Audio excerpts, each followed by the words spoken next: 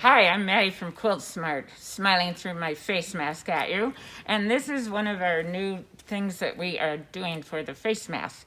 Our local um, hospital had a challenge to make 10,000 masks, and the pleats were kind of hard. So we decided, well, if you print the pleats, it might be a little bit easier to make. So that's what we've done. And I'm going to show you how to do that right now. So you can get a good look at that. There's a nose line on it for a nose piece to go in there to squeeze around your nose. And there's pleat lines and hem lines and seam lines. It just makes it super easy. Okay, so what you're going to do first is cut out your pattern. Now, on the pattern, you can cut between the solid lines. Um, for this style, because there's a couple different variations you can do. For the style we're showing today, you cut right on the um, solid line there.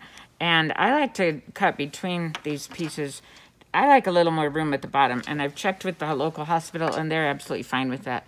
It's just a little easier than making a narrow hem that narrow. Just put a little hem in the bottom, and the reason I like a little extra there is even though we were the ones that printed it, I still think it's kind of narrow, and that's what was on the original pattern for the um, hospital. But they're okay with it being a little thicker too. We've checked with them since. So what I'm going to do here is just start on a little tiny piece of bias tape which we call the leader. And that way you can just keep sewing and it doesn't get caught into your, so you can just keep sewing. Otherwise it kind of gets pulled down sometimes. So I'm just folding this over. Whoops, and it doesn't have to be perfect. This is the lining, it's on the inside of the bag. I mean, of the face mask. We have a lot of bag patterns too. And then I go right from there into the next piece. So I'm putting that a little narrow fold there too. And just keep going.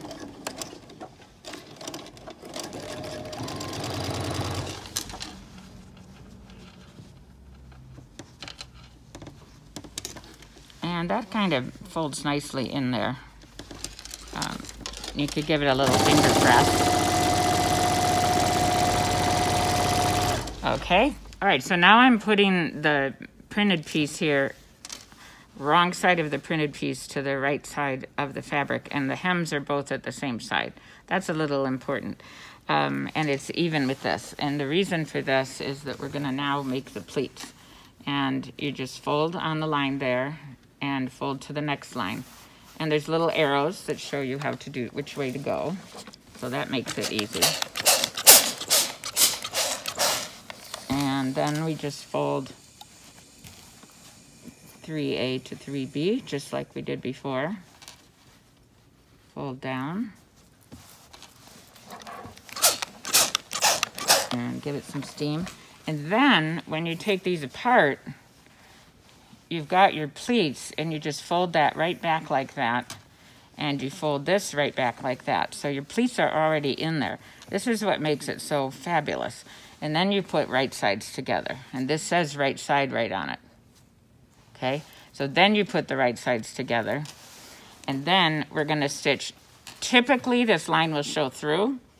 Um, if it doesn't, you can stitch a quarter of an inch. So then we're going to stitch across there. And I think I'll start with the leader again.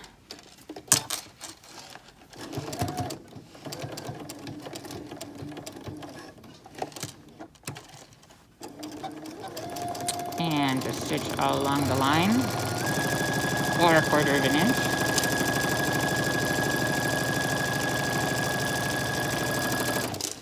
Um, I don't backstitch, but I do use a 2.0 stitch. Okay, so now we're just to take this and clip off our things here. And we're to take this and press that seam open. And I usually do it this way um, because I don't want to unpress the pleats that I went in there. And a little iron is good. If you don't have a little iron like this, you can just use your fingers too. And then you fold it this way and I usually give that a little press, also not bothering with the pleats. Okay, and you can replete it, or at this point in time, you can simply stitch on this line. That's the nose piece line. So we're gonna stitch on that. I start in a little bit, and then I go backwards. Okay, don't know why my machine's not going backwards, but um, we'll worry about that later. okay, and you come around, and on this you can see that there's a space there. So you stitch up to that space and then go backwards a little bit. Um, okay, and then you skip that space. I call it a jump stitch. I'm not sure if other people call it that or not. But you let that not be stitched, that part. And you back stitch, there we go. Okay, and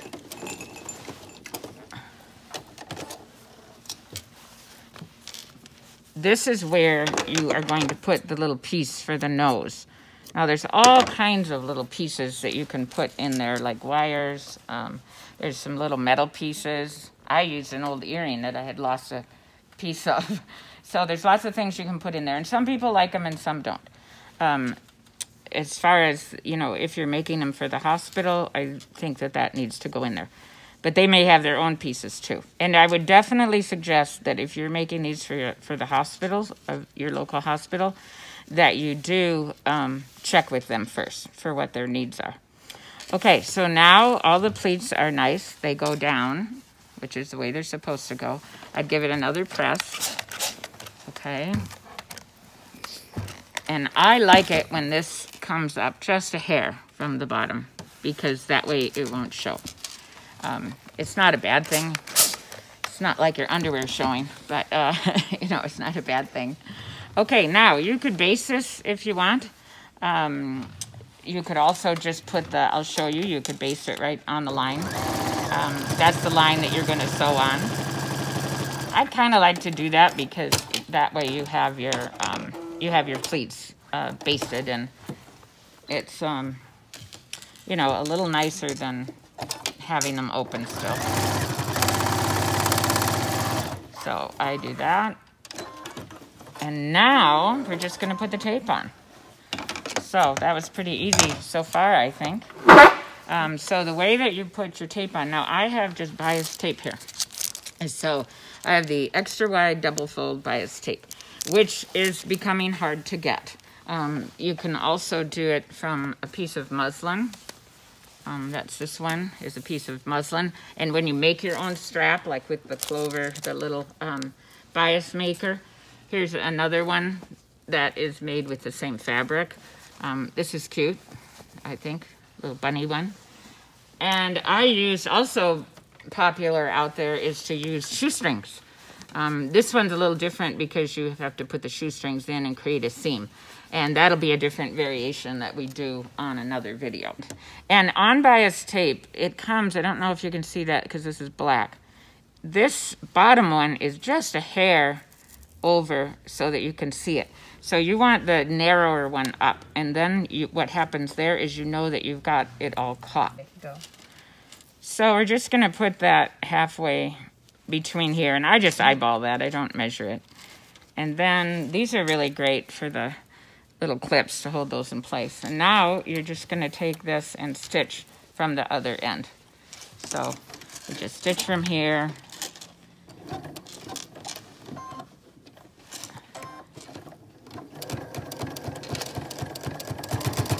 You can back stitch you can put a little knot if you want there.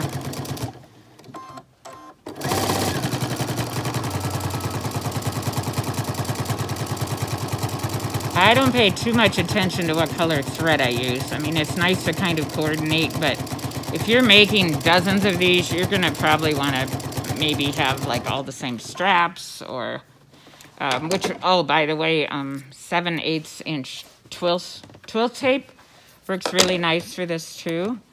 So there's a lot of different options out there. You might need to get a little creative because they're being bought up pretty carefully. All right, as soon as you get on the mask, I would backstitch just a hair for um, security at the corner.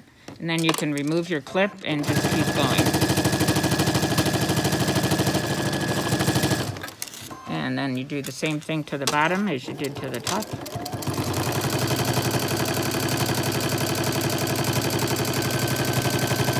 If you're a newbie and you're worried about stitches being straight, then I'd recommend using the same color as the tape. You just keep stitching. Okay, so I have my this strap on or tie, and you just put the other one on in exactly the same way with the with the little clip in the middle and stitch it. So one thing I want to show you is about the end. Um, I started a little bit in the end, so kind of this was sort of like my leader. And if you do that, you can, especially with this kind of tip, just clip it off for the ending of it. That's pretty easy. And um, if you have something that ravels a lot, you could use Fray Check on it. Um, you could put a little tiny knot in it if you wanted to. Um, so there's all kinds of options out there. You could get pretty creative with that. And um, I also did, here's a couple that I did. Um, here's one that I did where I didn't sew it yet, but I did. I used my embroidery machine to um, embroider some little flowers on that. So I was pretty excited about that and doing more embroidery. Um, maybe even some nice messages like we're all in this together. So you stay safe. Love you all. Let us know if you have any questions at all. We're trying to get face masks made and the pattern out there and the instructions as quickly as we possibly can. And we just so appreciate all of our wonderful customers and what you're doing to help the world.